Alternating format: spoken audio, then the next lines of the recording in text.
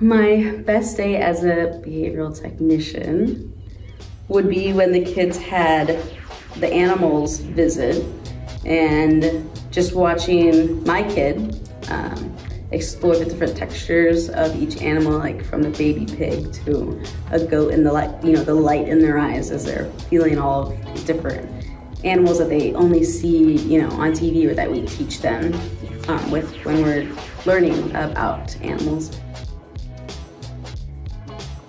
I love every client that I've ever worked with. I could get emotional about it. I, um, just watching them grow is awesome and I love my work environment. I've made really good best friends here in three years and you know, we talk every day outside of work and see each other and then my supervisors have always been supportive. I actually have really great bonds with my supervisors. Um, you know, they're there for me in my personal life and also in my professional life, so I love it.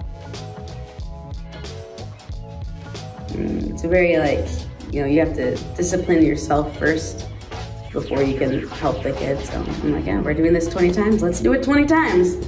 Um, so just be patient and rem remembering that their life is a little bit more difficult through their lenses than it is for us. Honestly, my worst day I just had as a behavior technician um, was recently when my client was using the bathroom with number two. He likes privacy, also likes to completely disrobe because that makes him comfortable to go number two, right? So you, you want to go number two whichever way you can without it being this huge problem. And so he went number two disrobed in the small corner of the bathroom. And he came out of the stall because he likes the door closed and another BT was like, oh, you forgot to flush. And so I reminded him to flush. He goes back in. You know, he says he's not done going number two, so I let him go number two again. And then he flushes the toilet about six times. I'm like, okay, now it's time for me to get up. There's no more privacy. Keeps flushing, flushing, flushing. Um, I open the door and just his water from number two is just flooding out onto the tile, then onto the carpet, and and he's loving it, right? He's splashing in it, and I'm chasing him around when he's not wearing any clothes and you know, there's joy in his eyes because it's a puddle. Who doesn't want to splash in a puddle?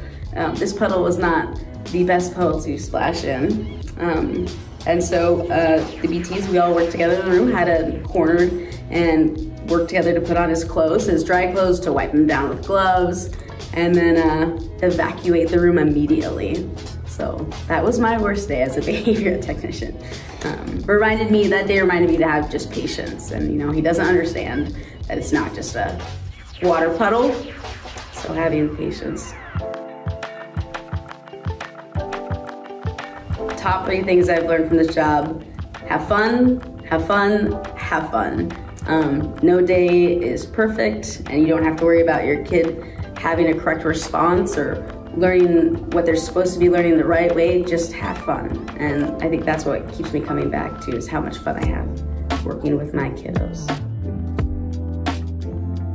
If I were to give someone advice about becoming a behavior technician, I would tell them to look into ABA first because I did not and I kind of just learned as I went, but I would have like to study a little bit more about ABA because this was just kind of a job just to start and I didn't realize how passionate I was about the job until after I started and I didn't know anything about the job.